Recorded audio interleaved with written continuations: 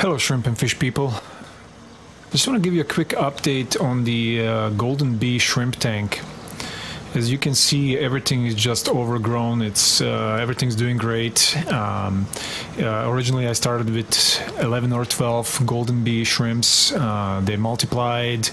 Then there was a point where the canister filter got dirty, and I uh, didn't clean it, and that degraded the water quality. And most of my adults died. Um, so what you see right now is all the babies that that have grown up, and I've already seen a few berried. So so the legacy will continue. Uh, in the meantime, I added some uh, Bloody Mary shrimps. Uh, I, I, purchased seven of them, and uh, they had babies. And as you can see, there's probably about 40, 50, if not more, uh, Bloody Mary shrimps. Um, and same for the golden bees. There's about 40, 50.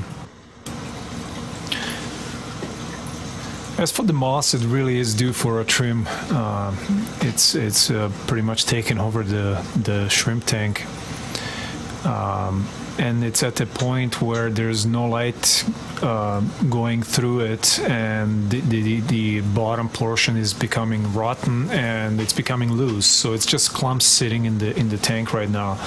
So I'm gonna have to take that out and uh, retie everything. Uh, the Bucephalandras, they're doing really nice. Uh, this is the, called the, the Vulcan. And I'm getting a new leaf every week out of those two clumps, so that's exciting. Mini Christmas moss, same thing as the spiky. The other one was spiky moss. It's due for a trim. You can see how the coral moss is wobbling uh, because it, it, has the same problem. The bottom rotted, and now it's just you know rocking on top of the uh, little cube it's sitting on.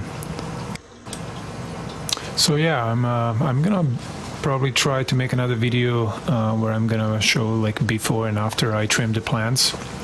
So keep an eye out for that. Also, don't forget to subscribe for future video updates and new content as well. And like the video. Thanks for watching.